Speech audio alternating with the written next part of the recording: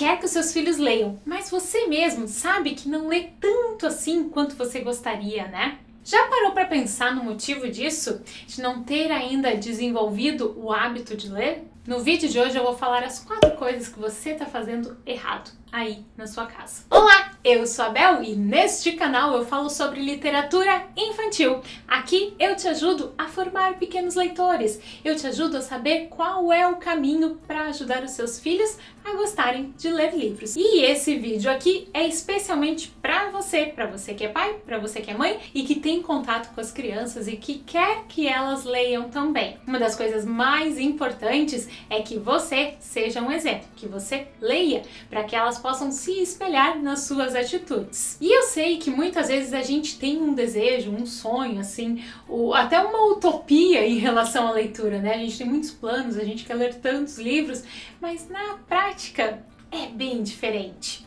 Nesse vídeo aqui eu vou te contar as quatro coisas que eu sei que você está fazendo errado aí na sua casa. E eu já vou deixar claro aqui desde o início. Esse vídeo aqui é para quem quer mudar, é para quem quer ler mais, para quem quer se mexer. Se você está confortável, se você não está querendo mudar aí as suas atitudes, nem perde teu tempo, já vai para o próximo vídeo e deixa esse aqui para quem está afim realmente de encarar as coisas. Se você está chegando nesse vídeo agora, eu quero te convidar a se inscrever no canal e ativar as notificações para ficar sabendo de tudo que entrar novo por aqui. Primeiro motivo que te faz ler menos do que você gostaria é que você lê por obrigação. A gente sabe que ler é importante. A gente sabe que tem muito livro maravilhoso por aí, muito livro que pode nos ajudar a alcançar caminhos diferentes, a alcançar caminhos mais altos, a nos desenvolver. Mas, ao mesmo tempo, a gente coloca a leitura na nossa vida como uma obrigação. Muitas vezes a gente compra vários livros e a gente quer dar conta deles.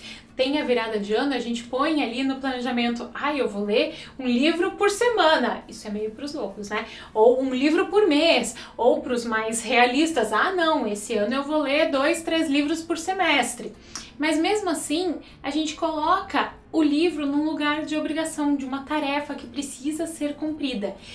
E obrigação é chato, né? Mesmo que seja você que está estabelecendo essas metas, obedecer é chato, a gente não gosta, a gente não gosta de ser obrigado a nada. E é por isso, é até por uma certa rebeldia que você não consegue cumprir as metas que você mesmo colocou. O segundo motivo é você só lê quando sobra tempo. E alguém já viu tempo sobrando por aí na vida adulta?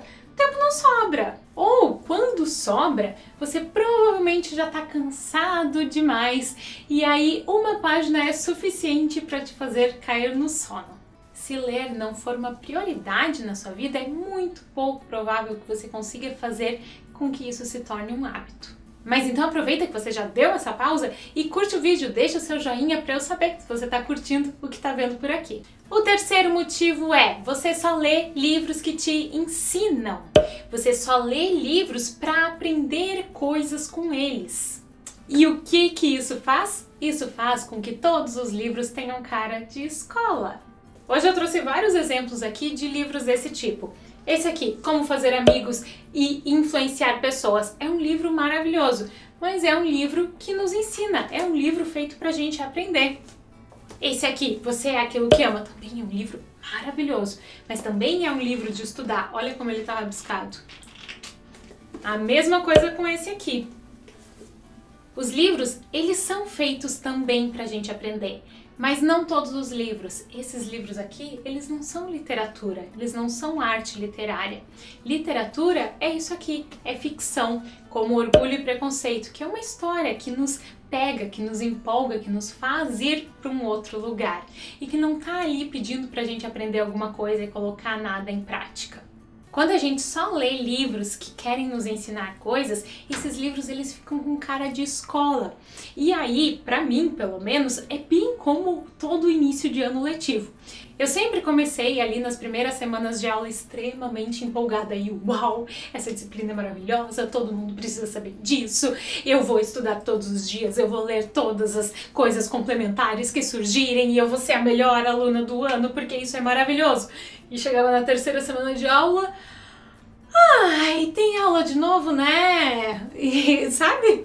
Isso acontece com os livros também. Esses que a gente pega pra aprender. Lá no início a gente tá super empolgado, porque eles nos, nos ensinam muita coisa, eles já nos trazem muita coisa. Mas conforme vai andando, eles viram uma obrigação. E a gente só consegue terminar se a gente realmente é muito disciplinado. E o quarto e último motivo que faz com que você não consiga ler o tanto que gostaria é que talvez ninguém tenha te dado exemplo. Talvez isso não tenha sido uma coisa colocada lá na sua infância, quando você era pequenininho. Ninguém tentou colocar o hábito de ler na sua rotina, te ensinou a guardar um espaço do teu dia para abrir um livro e ler. Não tinha nenhum adulto ali na sua volta que pegava um livro e lia também. Ok, é justo, porque de fato o exemplo nos ensina muito. Mas agora você é um adulto e agora você tem o papel de quebrar esse ciclo e de ser, sim, o exemplo que o seu filho, que a sua criança precisa ter. Eu sei que ler talvez não seja tão fácil assim para você, que talvez isso exija um grande esforço, mas é muito importante que você se esforce porque você é o maior exemplo do seu filho e eu estou aqui para te ajudar. E eu quero te fazer um convite. Eu tenho um clube de leitura, um espaço onde vários adultos estão juntos lendo obras de literatura infantil, que são livros gostosos, histórias que nos prendem e que são bem leves, bem fáceis da gente conseguir acompanhar. A gente lê geralmente um livro por mês e é super tranquilo. E no grupo a gente vai trocando ideias, o que é ótimo pra gente estar junto, né? E um ir animando o outro. Já tenho vários relatos lá de mães que começaram a ler esses livros pensando em no futuro ler para os seus filhos, mas que com isso voltaram a estabelecer o hábito de ler nas suas próprias vidas. E agora já estão aí pegando vários outros livros. Vem ler com a gente, vem fazer parte do clube também. As informações estão lá embaixo na descrição desse vídeo.